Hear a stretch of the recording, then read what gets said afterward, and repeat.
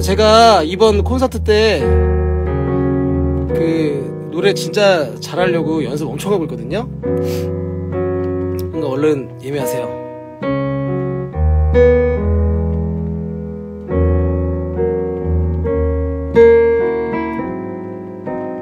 예매 예매하세요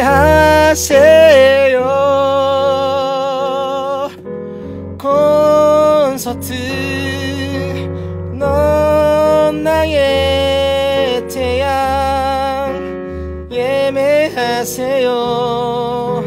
공연합니다. 콘서트 해요. 서울 대구 부산. 인터파크 예매하세요. 목 상태 좋아. 연습 많이 해 얼른 예매하세요. 티켓 링크도 있고 인터파크도 있고 예매해. 광주도 할 수도 있대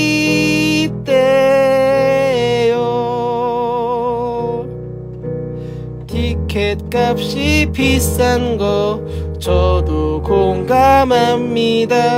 물가가 너무 비싸죠.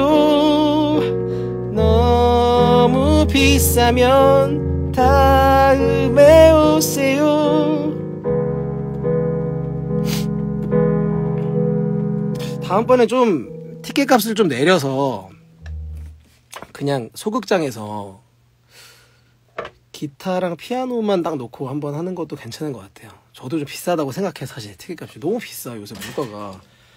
근데 티켓 값은 이제 제가 단독으로 뭐 제가 이렇게 정하는 게 아니고 이제 그 공연에 들어가는 여러 가지 물류와 그 장비들과 또 그 스태프분들이 굉장히 많잖아요. 그래서 스태프분들도 그 인건비도 있고 하기 때문에 이게 좀 그게 올랐어요 많이. 예. 아 그렇다 생각해 저도. 예. 그래서 아, 오라고 못 하겠다. 아, 너무 비싸면 다음번에 오세요. 예. 죄송해요 제가. 아 예. 비싼 것 같아. 예. 그래도 오시